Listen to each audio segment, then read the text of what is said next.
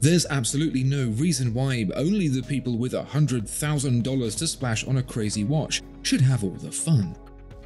This is a watch brand called Xeric, and they're making sure that you can get in on that action for just a percent of the price. We're on tour.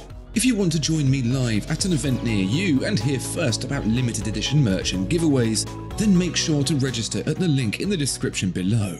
Thank you.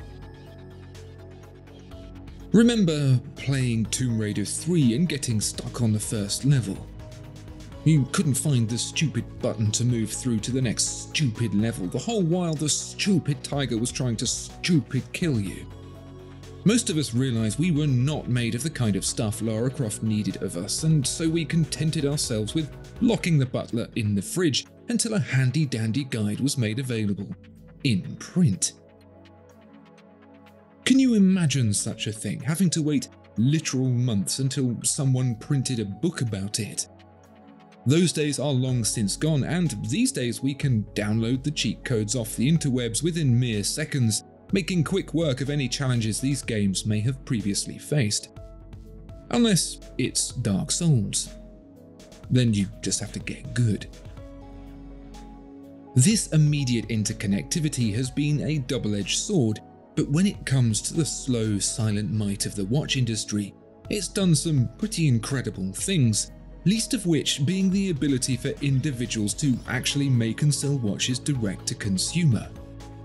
That's the path Xeric has taken, but really it's building on the shoulders of giants. Urwerk started life in the hands of Felix Baumgartner and Martin Frei all the way back in 1997, at which point barely 25% of people even had the internet. As you can imagine, it was hard going selling crazy watches at watch fairs around the world. But by 2005, not only did the Urwerk guys get the Opus 5 gig at the time the ever popular Max Busser was helming Harry Winston, but the internet had finally made its way into the homes of the majority of people too. That gave the little guys, like Urwerk, a voice, and before long the internet was buzzing with the insanity of the brand's watches. They were the pioneers of this new digital frontier, if you like, using the vast reaches of the World Wide Web to connect its incredibly mad, incredibly expensive watches with the crazy few willing to part ways with their hard earned for one. Without that, without the late nights and risky bets that made Urwerk what it was, we wouldn't have Xeric. But they did, and we do, and that's better for everyone. But it's not just about connecting brands with people, it's everything. Potential customers can scour the forums and get first-hand feedback from actual owners, see how Xeric got off to a shaky start a decade ago but have since built a happy, loyal fanbase. Even building watches is made easier, and therefore cheaper, thanks to the internet. Businesses that build watches are contactable from the other side of the world without needing air miles every time a new screw needs discussion. It can all happen remotely. That's the dream. Technology making the things we love more plentiful and affordable. Is it true of Xeric? We've got two pieces from the Xeric collection here, the Scrambler in red and the Triptych in blue. Both utilise a very similar Wandering Hour satellite system used in the very first Urwerk, a complication that was originally presented with hidden subtlety and has since been increasingly pared back to reveal more of the insanity. The concept is straightforward. Each arm of the display mechanism carries a satellite with four hour indicators. Like a fairground ride, the central mechanism rotates and the satellites themselves rotate as well, advancing to the next position in time to meet the minute track along the top of the dial. Whichever number appears along that minute track is the hour, and where it appears directs the minutes.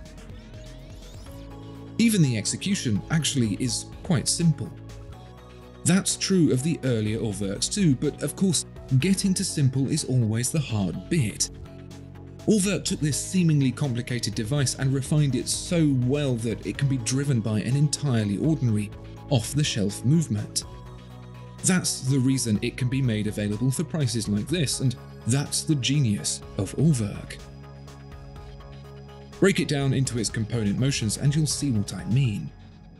That central three-armed carrier simply rotates as it always does, albeit geared down slightly so a third of a rotation takes an hour.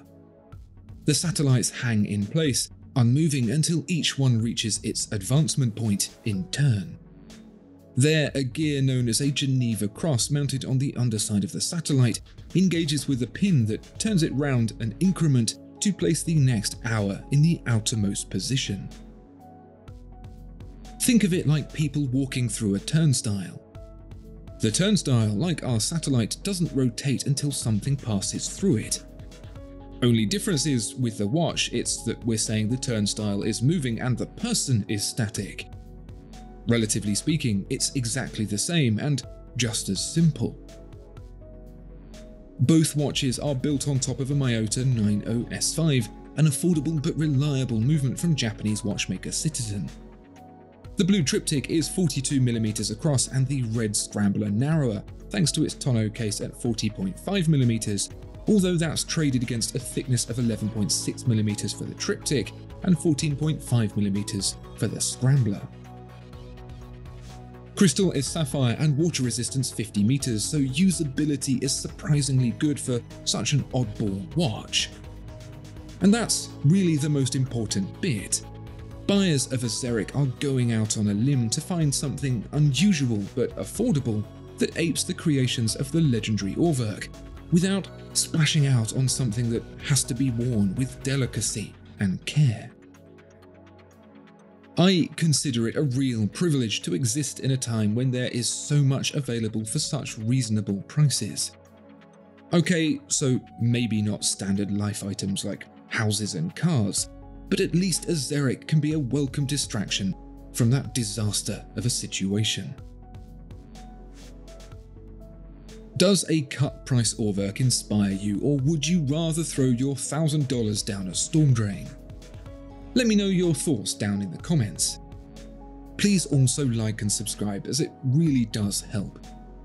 Thanks so much for watching, and I'll see you next time.